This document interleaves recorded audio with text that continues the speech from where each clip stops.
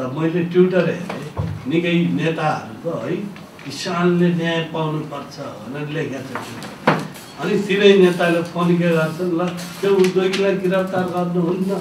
संसदीय समितिले सात दिनभित्र उखु किसानको बक्यौता रकम भुक्तानी गर्ने व्यवस्था मिलाउन सरकारलाई निर्देशन दिएको छ।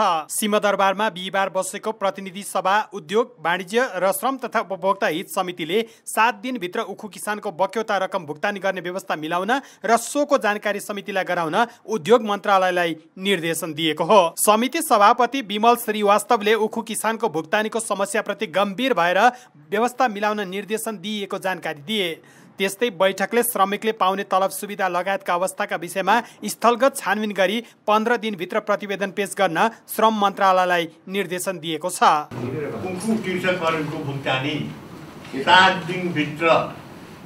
उद्योग मन्त्रालयले कृषकहरूलाई भुक्तानी गराउने व्यवस्था गर्ने र सोको प्रगति विवरणसहित त्यो अर्को हप्ता यो समितिलाई जानकारी गराउने। है? दोस्रो श्रम मन्त्रालयले श्रमिकहरूका विषयमा अस्थलगत अध्ययन गरी ती श्रमिकहरूले पाउनुपर्ने सुविधाहरू उसका तलबहरू पारिश्रमिकहरू के कति पाए के कति पाएनन्। सोको आवश्यक छानबिन गरी आवश्यक कारवाही समेत गरी पन्ध्र दिनभित्र यो समितिमा प्रतिवेदन पेश गर्ने। बैठकमा उद्योग वाणिज्य तथा आपूर्ति मन्त्री लेखराज भट्टले उखु किसानको भुक्तानी नदिने उद्योगीलाई पक्राउ नगर्न भन्दै नेताहरूको नै फोन आएको गुनासो गरे।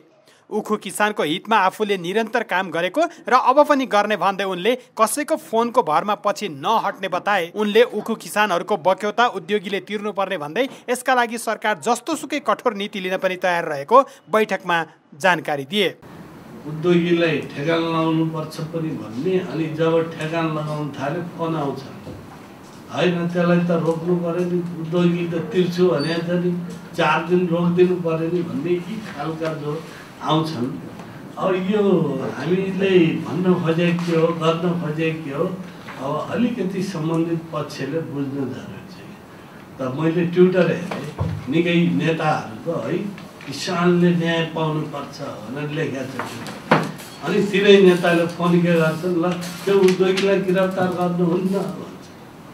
त यो खालको क्यारेक्टरले पनि समस्या हल गर्नमा बाधक बने क्या त यो लाइजा भन्ने कुरो हुनुहुन्न। न्यायको निमित्त भन्ने हो। त्यो भएर हामीले हिजो स्पष्ट हिजो पनि मैले यहाँको मेट्रोको सचिवज्यूले पनि एआइजीलाई फोन गर्नुभएको छ राति पनि। र अब यो हाम्रो यो श्रीराम सुगर मिलले अहिले हाम्रो यो चिनी एसोसिएसनको अध्यक्षज्यूले भने जस्तै त्यहाँ पैँतिस करोडको आउँछ। यो तपाईँले अब सुन्नुभयो सुन्नु भएन त्यो तपाईँको कुरो हो है माननीय यो उसको समर्थन मूल्य तोक्दा हामीले के गर्छौँ त भन्दा पहिला हामीले मल बिउ विषादीको कति प्रति हेक्टेयर लाग्छ त्यो त्यो गर्छौँ जस्तो अहिले हामीले तोक्दा पैँचासी हजार अडतिस रुपियाँ राखेका छौँ।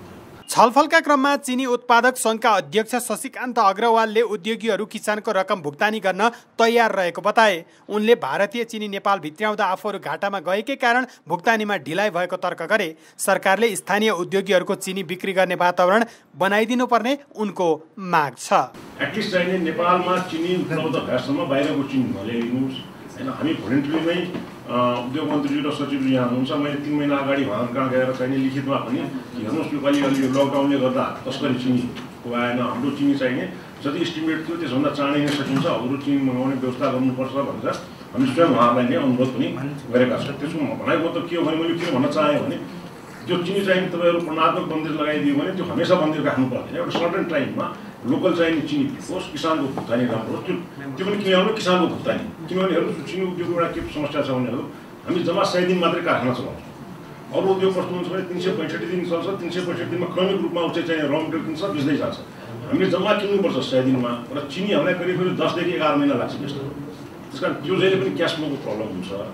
तर बाहिरको यदि चिनी नआइदियो भने हामी चाहिँ एउटा प्रतिवेदनको हिसाबले समयमा नै भुक्तानी गर्ने गर्छौँ र अहिले अरू यो क्रोनिक प्रब्लम भएका उद्योगहरूको भुक्तानी पनि बहुत राम्रो छ कुनै समस्या छैन बैठकमा सांसदहरूले चिनी मिल सञ्चालकहरूले नियत बस्ने किसानहरूको रकम भुक्तानी नगरेको आरोप लगाएका थिए। किसानको रकम भुक्तानी गराउन सरकार गम्भीर हुनुपर्ने उनीहरूको भनाइ छ। लामो समयदेखि आफूहरूले रकम नपाएको भन्दै उखु किसानहरूले काठमाडौँ केन्द्रित आन्दोलन गरिरहेका छन् तर सर्लाहीका चिनी मिल सञ्चालकहरूले काठमाडौँको माइती घरमा धर्नामा बसेकाहरू उखु किसान नभएर बिचौलिया मात्र भएको आरोप लगाएका छन्।